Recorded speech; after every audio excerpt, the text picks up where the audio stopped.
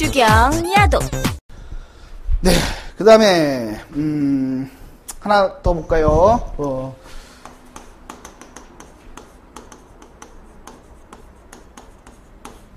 기초 단위에서 우리가 이제 뭐 첫 시간이고 해서 한 번은 짚고 넘어가야 돼. 왜냐면 제가 왜냐면 나중에 어, 왜 이것도 몰라요 이렇게 나중에 얘기할 수가 있어야 되잖아. 그렇죠? 그러니까 한 번은 어, 짚고 넘어가야 되는 것 같아서 아주 쉬운 거지만 음, 한번 같이 한번 짚고 넘어가보도록 할게요. 음. 먼저 우리가 기초 단위 중에 첫 번째 우리가 어떤 거 어, 길이 단위 길이 다 압니다.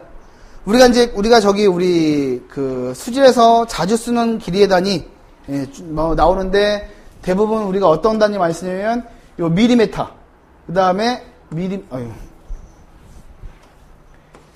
미리메타라는 단위도 많이 쓰고요. 요거보다 큰 게 센티메타라고 있죠. 센티메타라는 단위 많이 쓰고 그다음에 메타라는 단위 예. 아마 요 세 단위 많이 쓸까? 요거보다 조금 더 작은 단위가 마이크로메타 그쵸? 요 정도 단위 많이 씁니다. 이게 요거 쓰는 게. 그 다음에 마이크로메타 작은 단위가 나노메타, 그쵸? 나노메타. 그 다음에 메타보다 큰 단위가, 그쵸? 킬로미터 정도까지는 우리가 자주 쓰는 단위잖아. 근데 자주 쓰는 단위인 것 뿐만 아니라, 자주 쓰는 단위인 것 뿐만 아니라, 우리가 요거에 대한 관계가 중요한 거, 관계가. 요거에 대한 관계가, 얘랑 얘랑은 10의 몇 승 관계일까? 그쵸? 10의 3승의 관계에 있는 거고, 얘랑 얘랑 관계는 10의 2승? 1승에 대한 관계지. 10mm가 1cm잖아. 10mm 1cm. 그쵸? 얘랑 얘랑 관계는 10의 2승, 얘랑 얘랑 관계는 10의 3승의 관계 있는 거죠. 우리가 처음에 단위 관계를 만들 때는요, 우리가 이 센티미터가 없었어요.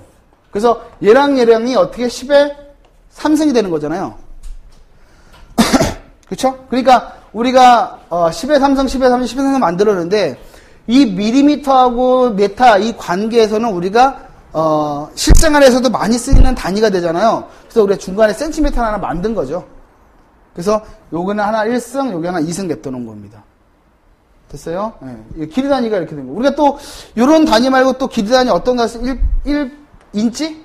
이거는 뭐 잘하시나 우리 허리 사이즈 때 인치로 나타내는 거니까. 1인치는 센티미터로 나타내면 얼마일까요? 2.54cm 정도가 되죠. 또 하나는 어, 피트란 단위 있습니다. 1피트.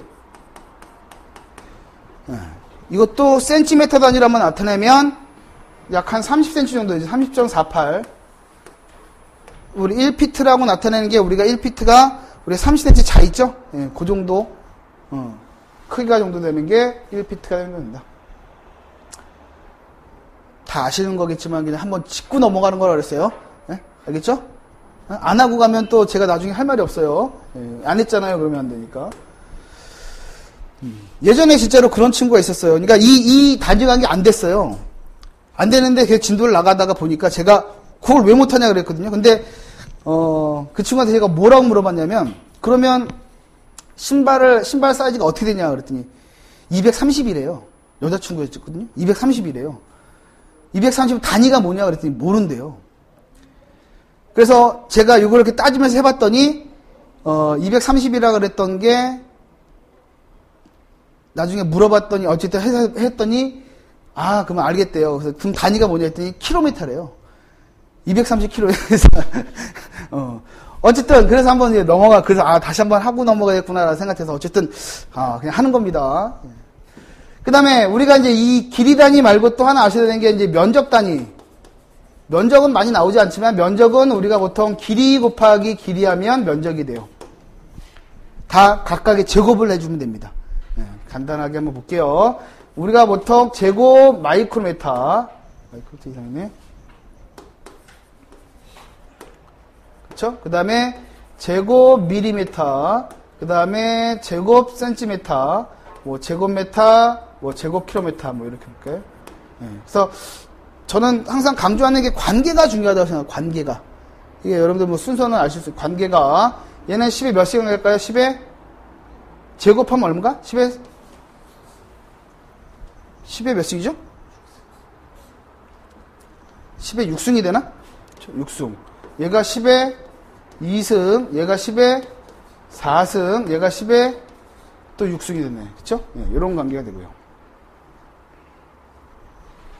길이 곱하기 길이 한 게 면적이 되고 또 우리가 체적 부피라고 체적이라고도 그렇고 부피라고도 그렇고 볼륨이라고 나타내죠. 그렇죠? 여기 V라고 보통 표시하면서 예.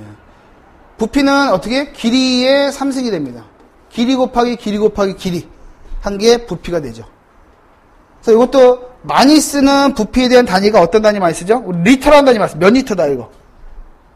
그쵸? 1리터, 2리터 쓰는 몇 리터라는 단위 많이 쓰고 요거보다 작은 단위가 어떤 단위가 있어요? 미리리터. 몇 미리리터다. 그쵸? 또 요거랑 같이 쓸 수 있는 단위가 그쵸? 세제곱 센티미터. 세제곱 센티미터. 요거랑 또 같이 쓰는 게 cc. 그쵸? 이렇게 나타내고. 우리가 이 리터보다 큰 단위가 그쵸? 킬로리터. 키로가 10의 3승의 관계에 있는 거니까. 그 다음에 또 요거랑 같이 쓰는 게 메타 3승입니다. 단위가 같은 거야. 똑같습니다, 이거. 됐죠? 네, 똑같아요. 그래서 우리가 보통 뭐 할 때 우유, 우유는 몇 미리 몇 미리 그러잖아요. 몇 미리. 이걸 말하는 거죠. 그쵸? 그 다음에 cc는 우리가 뭐 호프집 가서 500cc 주세요. 뭐 1000cc 주세요. 그래서 cc. 우리가 호프집 가서 500ml 주세요. 그러나? 그치? 안 그러죠?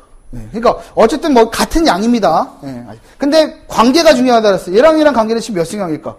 10에 3승. 그죠? 얘랑 얘랑 관계도 10에 3승의 관계에 있는 거지. 뭐 그런 단위가 있다. 그죠? 네.